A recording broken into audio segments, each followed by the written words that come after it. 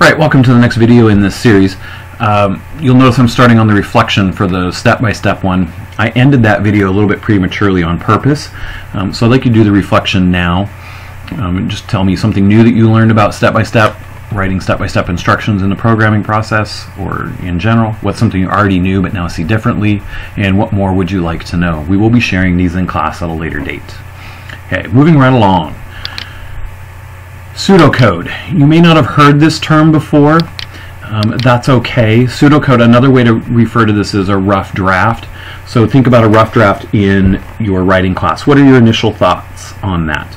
And what comes to mind when you hear the term rough draft or pseudocode? Um, it doesn't necessarily need to pertain to programming. It's going to take about five minutes. Write these your initial thoughts down in your notes and pause the video, restart it when you're ready to go. All right, welcome back. Let's jump right into this here. All right, um, pseudocode. Pseudocode is simply a rough draft. It's just a um, your first attempt at writing code. It tells you kind of what the blocks you're going to use, what the what code are you going to use, um, what changes do you need to make to those blocks, and um, you know it doesn't need to be correct. You will be correcting this. You'll have you and your partner will be correcting this. You'll have other teams correcting this. You may have me correct this. Um, you can use paper and pencil or you can type up your initial pseudocode and then print it out. In fact, you're going to be forced to do that. Um, and um, you should have the equal numbers of step-by-step.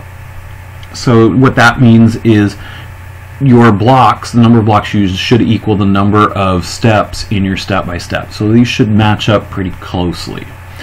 Okay. Um, in here, the blocks you're going to be using, because you heard me use that term blocks previously. For the EV3s, you will be using, you can use all of these action blocks here, these green blocks. The ones that are X'd out are not available on the NXT. So, for example, here, sound blocks. You have a sound block, looks like a little tiny speaker. You have a display block. You have a tank block and a steering block, and then you have a large motor block. EV3 only has, or has a medium motor um, if you're using the NXT kit, you can't use that.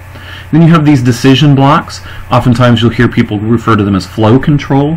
Think of these as punctuation. This is doing doing things. This is controlling the flow of the program.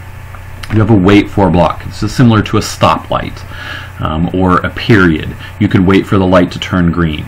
You wait for a comma, you take a breath when you're reading a sentence loop, this is something, or code you want to repeat.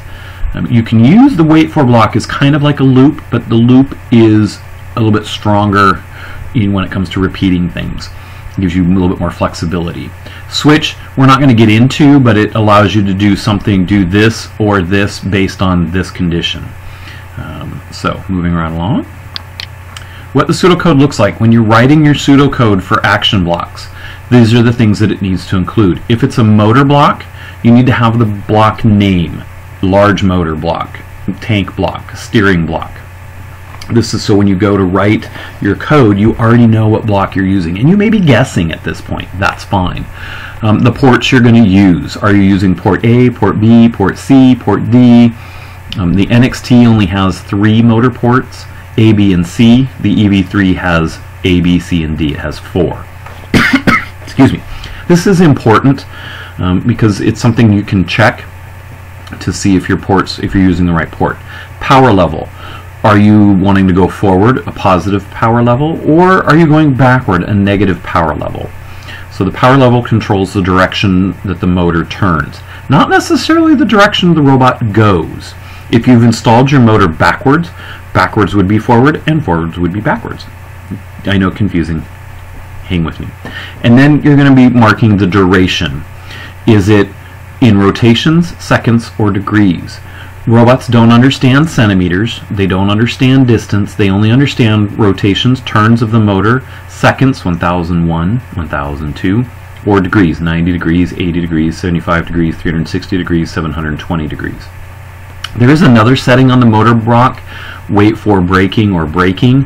Um, this just has to do whether do you want your robot to coast under kind of use momentum and then when it runs out of momentum it stops or do you want it to brake where it stops the motor and then it kind of depending on the power level you can see it jerk. Um, I usually leave it to brake so it stops automatically. Then you have sound and display blocks. They're pretty much the same.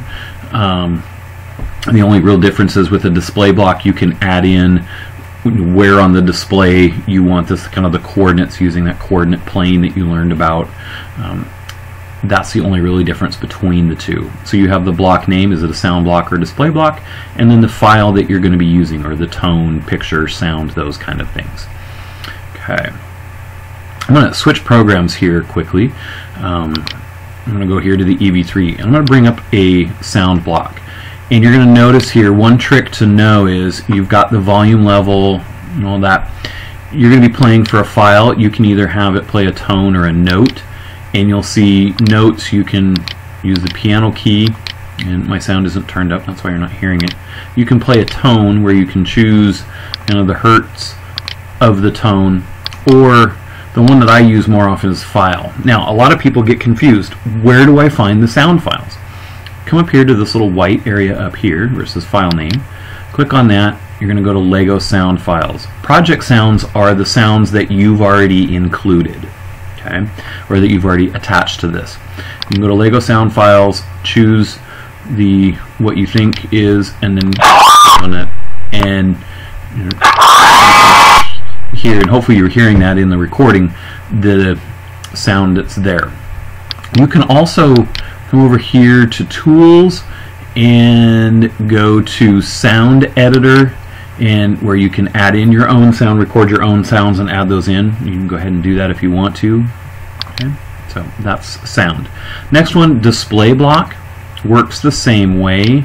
Um, you can do shapes, texts, grids, all that, but you come up here, the project files to um, find where things are at. Okay, and this is based on the EV3 screen. The NXT screen is a little bit smaller, a little bit smaller resolution, so you're going to need to play with the X and Y coordinates to get things lined up the way you want them. Okay, let me flip back to PowerPoint here and move right along. Okay, next one in the slide. So wait for block, you're going to have the block name, which is wait for, the condition you're waiting for. It can be duration, it could be a sensor, um, and then the state like how many rotations or how many seconds. These are going to be the two most common that you use.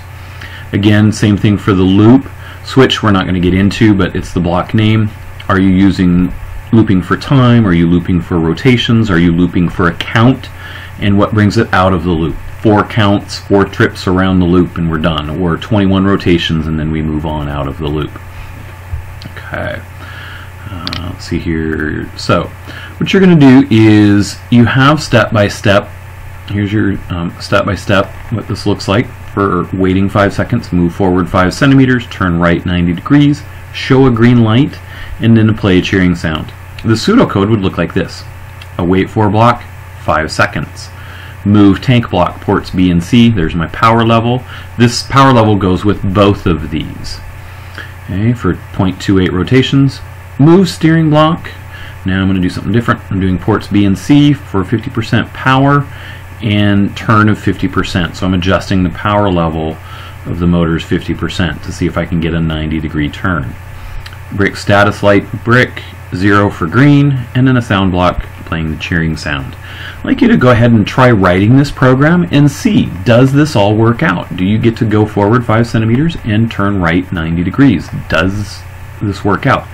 And go ahead and fix it see if you can um, adjust, make the adjustments, work with your partner to make to make your step-by-step in your pseudocode match. What changes do you need to make to the pseudocode? Go ahead and pause the video and work on that. Go ahead and start it back up when you're done. Or if you're doing this at home, you'll be doing this activity in class. All right, welcome back. All right, so homework from last week or the homework that you did before where you were writing a pro you wrote the step by step for waking the robot up. Now I want you to write the pseudocode. And once you're done writing the pseudocode write the program. See if you can wake your robot up. Write that simple program. Okay. go ahead and pause the program and go ahead and start the activity. Start it back up when you've completed. Alright, once you've completed the program of waking your robot up and turning, doing the turning and stuff, I'd like you to do a reflection in your notes. You will be sharing this with the class. Um, what is something new that you learned about pseudocode or writing rough drafts? What's something you already knew about this and you see differently? And what more would you like or need to know? Go ahead and pause the vi- video, take about five minutes um, to work on this, and when you're done, go ahead and start it back up again. All right.